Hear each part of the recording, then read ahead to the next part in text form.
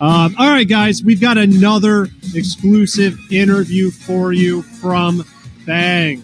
We've got president and CEO of Bhang, Jamie Pearson, and interviewing her today is Wes Eater, GVB of Revenue. Come on out, guys, and take it away. Let's get a round of applause for these two. Hello. Good morning, everyone. You have my notes. I'm gonna give you notes there. Chop for those Hi, everybody. Good morning. So, Miss Jamie, tell me about Bhang. Mr. is, West. who is Bhang? What does Bhang do? Let me see a show of hands in the audience. How many of you are familiar with our brand? Uh, Okay, quite a bit of you.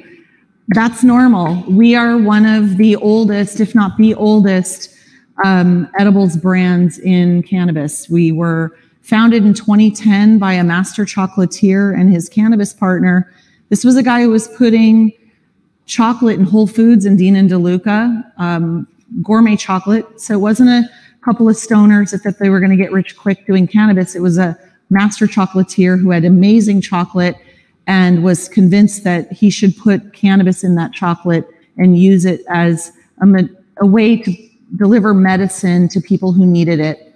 So, long story short, he packed up his facility in New Mexico and he moved to California. And Bhang was born in Oakland in 2010 with a single flagship chocolate bar that won its first High Times Cannabis Cup before those were pay to play. It was a legitimate win. And we've since won 10 High Times Cannabis Cups, all of them legitimate, non pay to pay um, cups. And I say that because you can see brands that have 26 time cup winners. Well, then I always wonder, how big was that check you wrote? um, we expanded to CBD in 2011. So we are 11 years old as a cannabis company. We are 10 years old as a CBD company. And think about 10 years ago, who was doing CBD? Who was even thinking about CBD? We were selling CBD in dispensaries 10 years ago.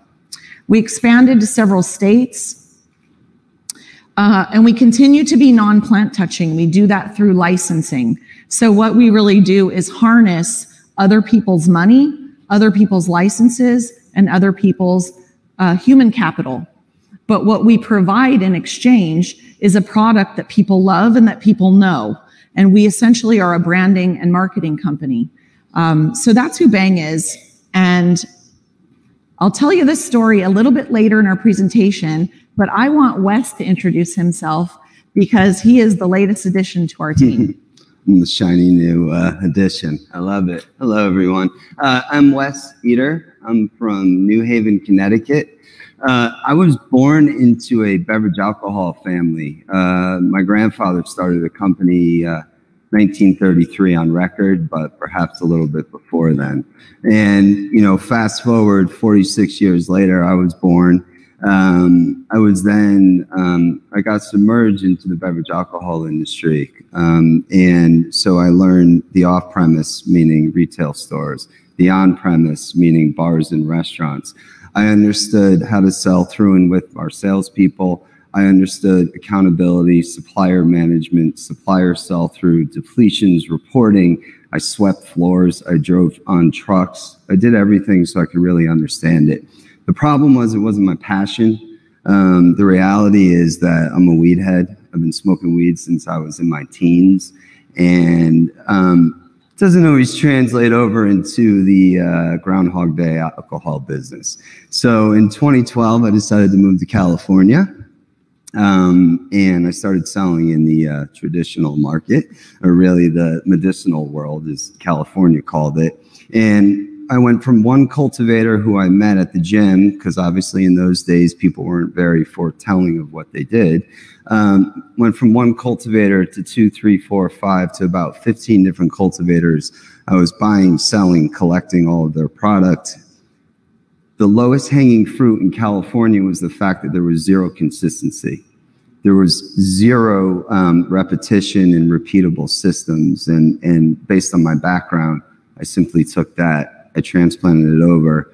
And because I had the culture and because I understood and I love weed myself, or cannabis, um, it really translated over well to me.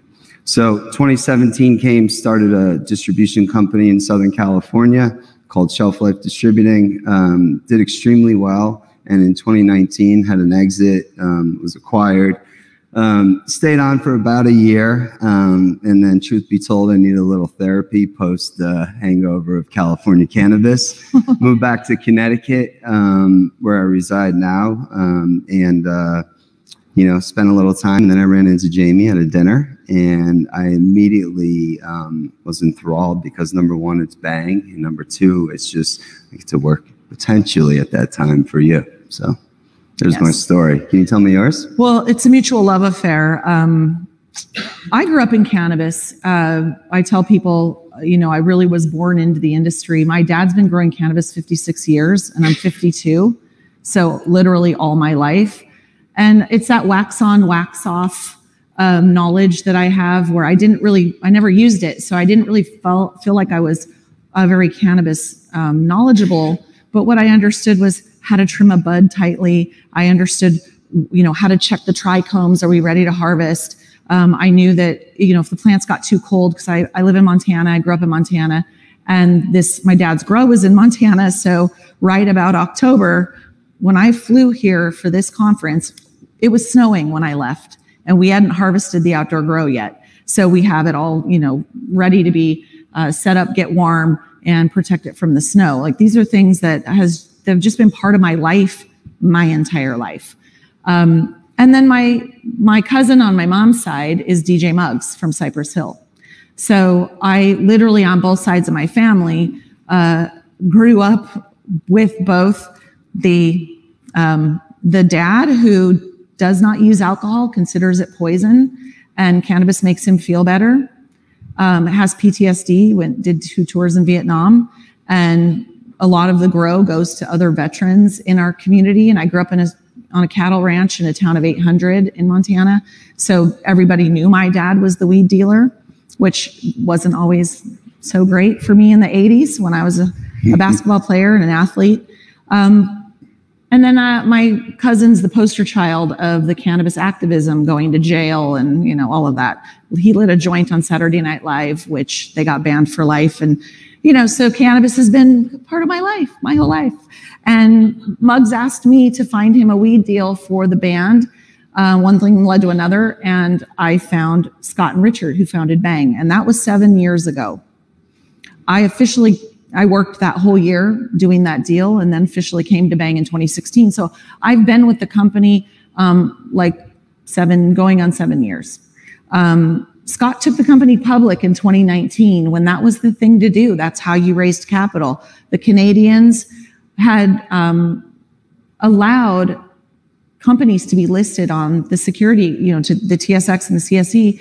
And Scott thought that was the right decision to make. So he took us public. I felt like we were probably a little too small, um, you know, but that wasn't my decision. And we went public. And four months later, Scott stepped down. Um, he let the company know he did not want to run a public company. He wanted to raise the money and exit. And the board asked me to step in. So I've been the CEO for two years. And at the end of 2019, right after we went public, I'm sure all of you remember what happened to the stock market, not the cannabis industry stock sector, but the whole market was, was crashing at the end, right after we went public. And there was no capital. The cannabis sector dried up. There was no investor interest whatsoever. And then we were hit with COVID. And right about that time, I was introduced to uh, what was then CGOC, Cannabis Growth Opportunity Corporation. Uh, it's a publicly traded fund. They've changed their name to Plant Based Investment Corporation. They're probably here in the audience. They're our largest shareholder. And Graham Simmonds, who's the chairman of the board of PBIC, is the chairman of the board of Bhang. And really, I would consider uh, kind of the coach off the field. I've got the quarterback's helmet on with the mic in it. He's telling me what audibles to call, and I'm out there, you know, running running the show. Um, Graham helped me clean it up because really what happened is Scott had this big ambitious plan for Bhang. We were going to be the General Mills of cannabis. We had 150 SKUs. We were, you know, we were in Europe. We were conquering the world and we were running out of money. And the reality was we were, we were like every other capital or cannabis company. We were bleeding um, capital. When I took over, I was a real estate investor for 25 years. So that was my job pre cannabis. And I just looked at the numbers and said, hmm, this isn't going to work. So I literally closed our offices.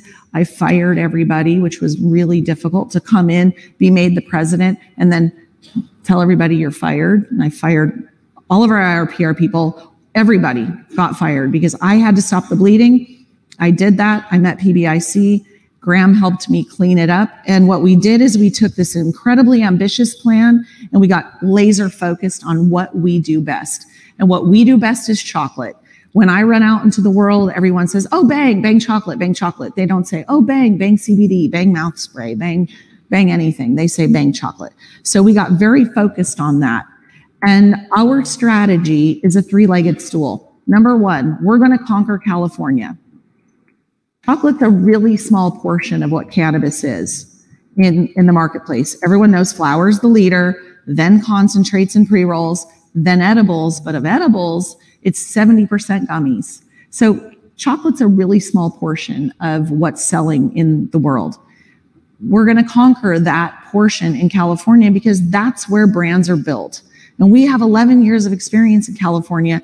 Everybody knows us there. That's low hanging fruit. The second leg of our three legged stool is expanding the brand and continuing to expand the brand into uh, the rest of the US um, and Canada. So we did that. We're with Indiva in Canada. We're the number one chocolate in Canada.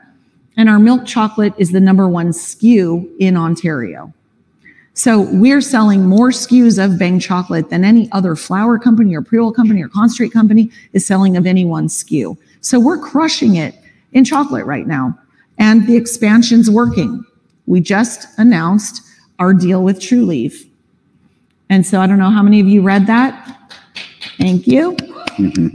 Trulieve's going to bring us to their 11 states. We're already in seven states. So we're going to have the largest footprint. We actually already have the largest footprint of any edibles brand in cannabis right now. And then our CBD division is in 47 states through e-commerce and uh, Europe, nine states. So PBIC helped me clean all this up. We got focused on what we do well. And in 2021, we said what we're going to do is execute our strategy of conquering California, expanding the states, and um, innovating SKUs to capture more shelf space. And that's what brought me to Wes because in 2019, one of the people that I fired was Origin House, who was getting uh, bought out by Cresco. And there was a change of control clause in our contract and that was an opportunity for us to take California back and control our brand there. And I found a company that I thought was going to do great called Shelf Life. And Wes and I struck a deal, and Shelf Life was our distributor. About three months later, Shelf Life got bought out. He failed to mention that deal was going on. I wasn't um, allowed to speak. And so when I ran, I, I already knew Wes's character. I knew what kind of a business he ran. And when I ran into him at that dinner, I thought, this is the guy that's going to help me execute this strategy. This is the guy that understands how to win California. He understands how to expand brands to states. He understands supplier, vendor, off premise, on premise, all of that. So I knew I had the right guy when I found Wes. Thank you. Mm-hmm. Thank you. It, it's, it really, uh, you know, I won't get emotional, but it's, it's such a tremendous opportunity um, to be part of a legacy brand that has been around for 11 years. And some of the nuances you talked about, the struggles, are normal to any business.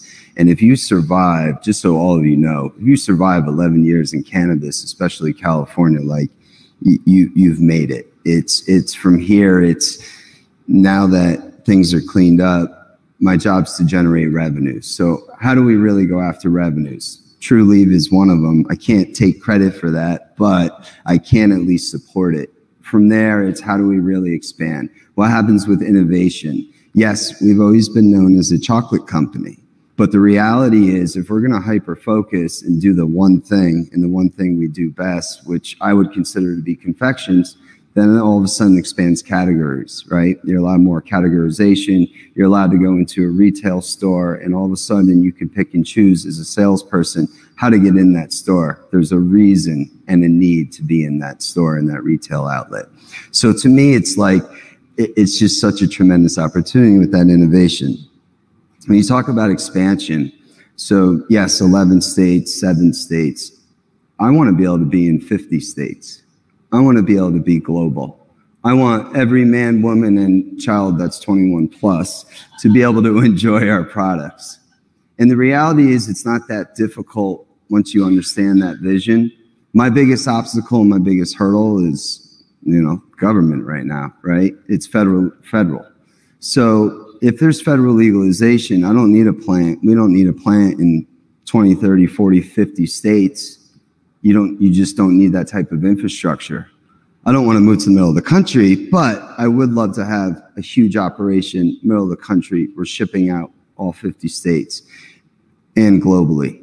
And the reality with that is, again, it's not that difficult. It takes some regulation or regulatory changes, but the way that you've set this company up, the way that it's going, our trajectory, our path forward, and everything else, I mean, I'm just beyond excited about how much growth opportunity there is.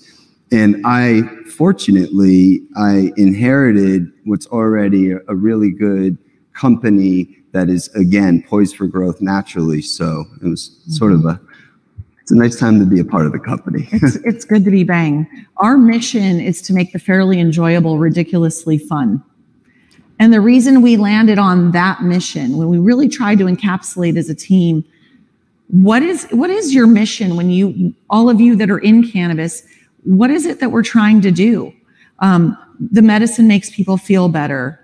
You cannot feel bad if you're having fun. But let's talk about the fact that we all know people use cannabis in in the in the states where cannabis is just medical. We know cannabis is being used medically, but we all know everyone's using it to get high and they get high to alleviate pain, to sleep, to do these, they alter their brain to alter the state of the homeostasis of their body. If they're feeling pain, they're not having fun, they don't feel good. So when you use our product, it, it improves your quality of life. It does make what is impossible to have fun possible to have fun. So we decided that our packaging should embody that. So we have this very medical looking package on the outside. But when you open a bang bar, it's a party. it's a party in a box. You, you have this ridiculously fun experience that should be fun when you open a bang bar. And then inside, you know, we have to have the childproof pouch. Um, so we have the childproof element in here. We've got the medical element in here. And then we have the fun element in here. So we really are embodying our mission. What I'd like to say to the audience before our time is up is I really want, I know all of you are going to go look at our share price and you're going to see that we're trading it, you know, hovering around five cents and our, our market cap's around 10 million. When you harness other people's money, other people's license, and other people's capital, that means they take the lion's share of the revenue for the millions and millions of chocolate bars that we sell every year. But what we're doing is planting flags. We're, we're expanding. The brand is being put in millions and millions of people's hands throughout North America, through our CBD division, and in Europe. So there are a lot of people, whenever I go anywhere, oh bang, oh bang, oh bang, everybody knows our brand because we're playing the long game here. And the long game is post federal legalization.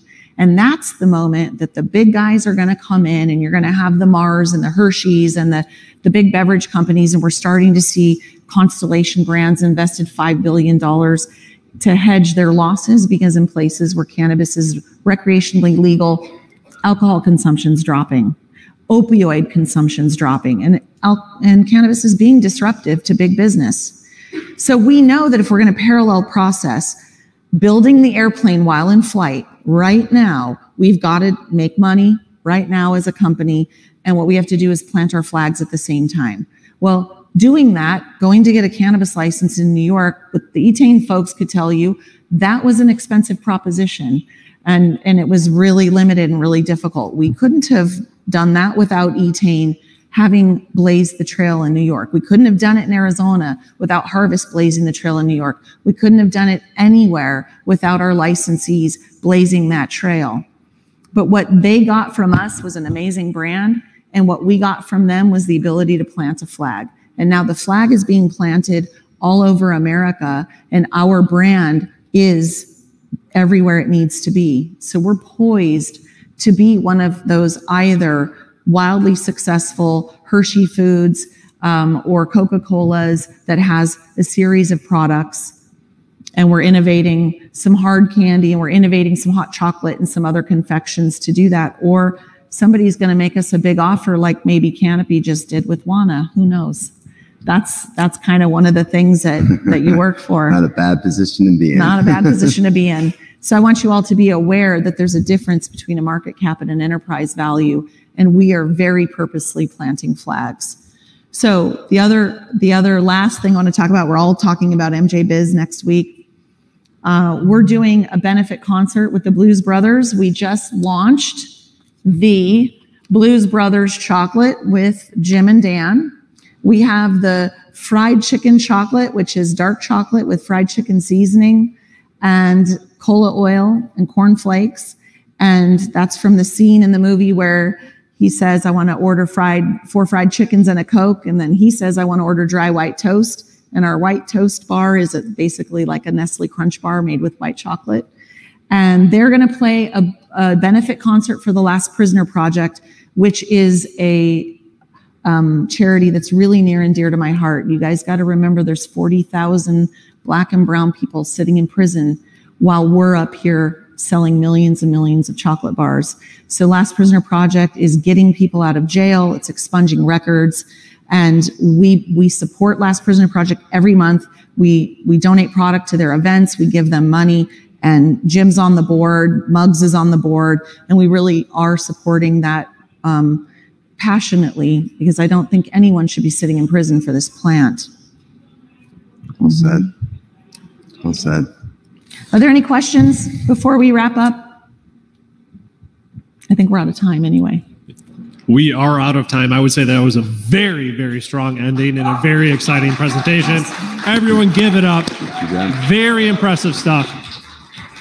You guys were not lying. This is not your first rodeo. You guys are fantastic. Very exciting things coming from Bhang. If you guys are watching online, make sure you check out their online properties. Um, there's a lot to learn about this organization, and I there's a lot of good things to come, as Jamie just demonstrated for you guys.